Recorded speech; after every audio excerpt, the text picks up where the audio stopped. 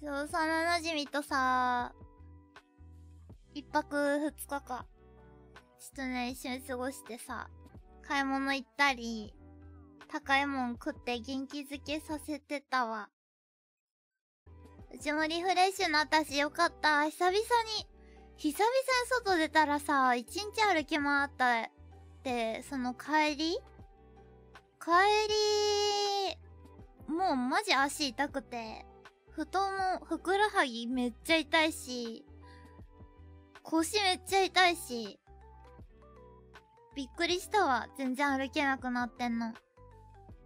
そう、運動不足すぎてさ、久しぶりにそういうさ、リア友と遊んだから、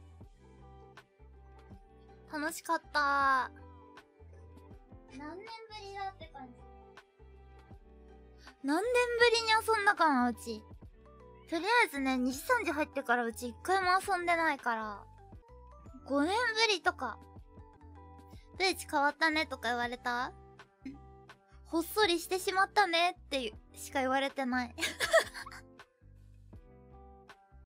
そういえばあの、あれじゃん？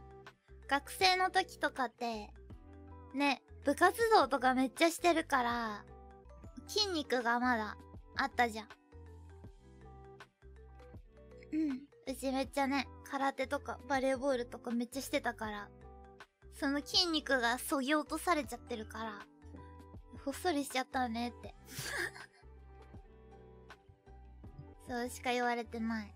マジ筋肉なくなっちゃって。前はね、前ムキムキだったから。